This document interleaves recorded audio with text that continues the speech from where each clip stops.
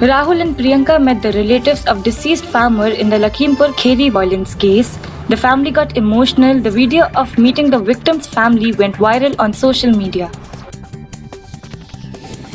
Lakhimpur Kheri violence case will be heard in Supreme Court today. A bench of three judges, including Chief Justice, will hear.